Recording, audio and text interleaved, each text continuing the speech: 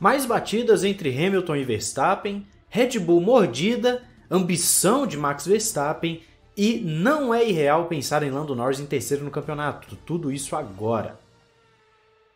Olá, amigo do Ressaca Fórmula 1, seja bem-vindo a mais um vídeo. Eu sou Matheus Pucci e vamos ao nosso vídeo de hoje. Lembrando que ontem tivemos um vídeo bem legal falando do top 10 salários e ganhos da temporada 2021 de acordo com a Forbes. Então dá uma olhada lá se você não viu, deve aparecer um card aí por volta de um minuto mais ou menos de vídeo para você assistir e também tem os vídeos lá do Ressaca F1 Express. Hoje tivemos algumas notícias legais aí sobre a Ferrari, corrida sprint, então dá uma olhada lá.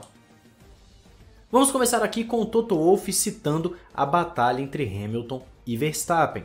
Toto Wolff admite que sim, podem ter outras colisões, ainda mais por conta do que aconteceu em Silverstone, que os ânimos vão estar um pouco mais acalorados e a intensidade aumentou desde a última corrida. O Wolff torce para que, com sorte, eles façam as disputas de modo desportivo, mas que sim deve ter novas colisões. Ele também defende Hamilton falando que é um vencedor de 99 corridas, heptacampeão mundial, não precisa provar nada para ninguém e que Hamilton tem uma maturidade muito grande para disputar o Mundial pensando no campeonato e não simplesmente em uma corrida. Wolff também cita a questão de lidar com as batalhas internas e externas, já que nas internas você tem que lidar diretamente e consegue botar panos quentes, mas nas externas você não tem muito como controlar, já que é uma equipe contra a outra, dois pilotos que não estão ali diretamente ligados pela garagem, então fica um pouco mais complicado de lidar, mas é o que a Fórmula 1 tem há muitos e muitos anos. Então, Wolff basicamente citando as questões que levam Red Bull e Mercedes a terem essa briga que vai ficar cada vez mais legal, a gente espera que fique cada vez mais legal. Lembrando que tem o Grande Prêmio da Hungria no próximo final de semana e depois disso a Fórmula 1 entra no período de férias de meio de ano, aquele ato comum que a Fórmula 1 tem, para voltar só depois lá na Bélgica.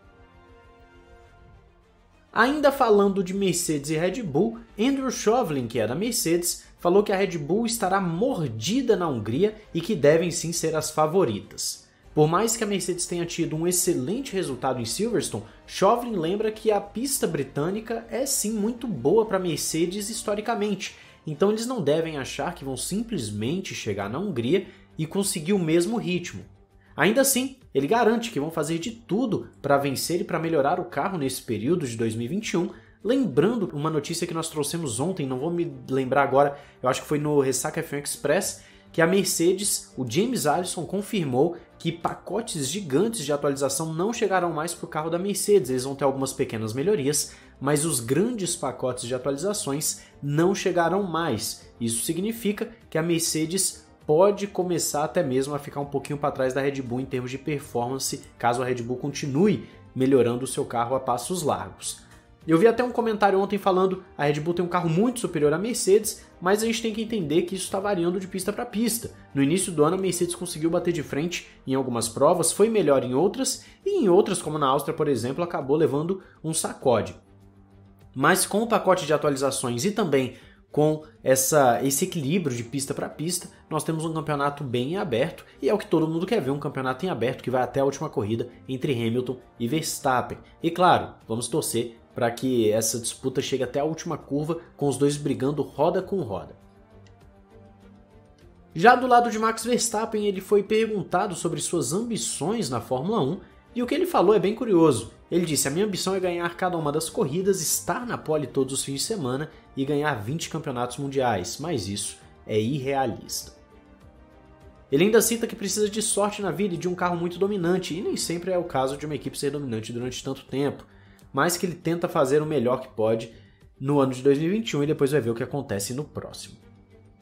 A fala de Verstappen não é grande coisa se a gente considerar que todo piloto quer vencer, todo piloto quer ser multicampeão. O detalhe para mim está quando ele fala de um carro dominante. O que nós estamos vendo com o Lewis Hamilton, por exemplo, e a Mercedes é algo raro na Fórmula 1. Inclusive, esse é o maior domínio da história. Nós estamos presenciando o maior domínio da história da categoria. Nesse caso, temos que entender que, por exemplo, Sebastian Vettel venceu quatro campeonatos consecutivos, sendo dois com disputa com o Fernando Alonso, e você teve o Michael Schumacher que venceu também cinco campeonatos consecutivos, tendo um carro que em pelo menos três campeonatos era bem superior aos demais. Nesse caso, nós podemos citar sim que um carro dominante é fundamental para você alcançar números tão absurdos quanto o Verstappen quer chegar. E nós temos que lembrar também que vai ser muito difícil isso acontecer caso o regulamento de 2022 funcione, já que não somente tem o teto orçamentário, como tem também uma escala de desenvolvimento de carro, onde o primeiro colocado da temporada passada pode desenvolver menos o seu carro do que os demais. Então nós temos essas questões que vão influenciar diretamente no grid para as próximas temporadas, ou pelo menos nós esperamos que influencie diretamente nas próximas temporadas. Então, domínios como o da Mercedes, ou da Red Bull, ou da Ferrari serão cada vez mais escassos se esse novo regulamento funcionar adequadamente. Então, para o Verstappen vencer todas as corridas, vencer todos os campeonatos, vai ser muito mais difícil do que hoje em dia. Se a Red Bull conseguisse entregar para ele um carro dominante no regulamento atual, até conseguiria, mas com o regulamento novo vai ser mais difícil.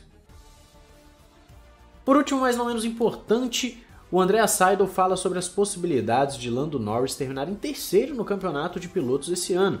Isso porque o jovem piloto britânico está fazendo uma temporada fantástica até o momento. Ele ainda cita que precisa de um problema com Mercedes e Red Bull para poder chegar a esse resultado, já que Pérez e Bottas podem sim se recuperar no campeonato. Mas que Lando Norris tem entregado resultados impressionantes e que se conseguirem repetir o segundo semestre como foi o primeiro, com certeza terão uma bela possibilidade e seria um resultado fora de série para a equipe McLaren. Vale destacar que a McLaren apresentou uma evolução nítida para a temporada 2021, sendo de longe a terceira equipe do grid, já que a Ferrari oscila demais enquanto a McLaren consegue ser mais constante.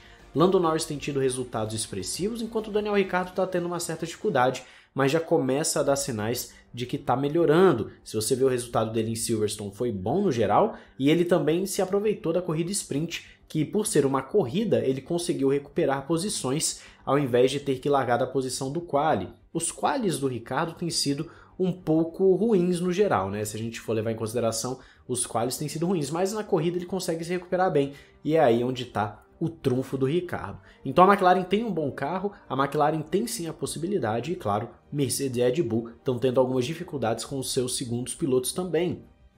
Bottas por vezes não entrega o que se espera e o Pérez às vezes também faz uma belíssima corrida quando do nada faz uma corrida muito ruim, erra, roda, bate, enfim, são coisas que têm acontecido com os segundos pilotos dessas equipes e que têm beneficiado um Lando Norris que está extremamente focado, cirúrgico e constante. O menino realmente está fazendo uma belíssima temporada e a gente com certeza vai ficar de olho nele para o futuro. Tá aí no calibre do Russell, tá no calibre do Verstappen, tá no calibre do Leclerc, desses jovens pilotos que tem tudo para fazer do futuro da Fórmula 1 fantástico para todos nós. Mas e aí, qual a sua opinião sobre tudo isso? Sobre batidas entre Hamilton e Verstappen, sobre a briga Mercedes-Red Bull, sobre a ambição do Verstappen sobre os carros dominantes e também a McLaren poder conseguir o terceiro lugar ali com o Lando Norris na tabela de pilotos. Diz aí nos comentários, não esqueça de se inscrever e ativar o sininho, faremos toda a cobertura do Grande Prêmio da Hungria durante a semana. Um grande abraço, valeu e falou!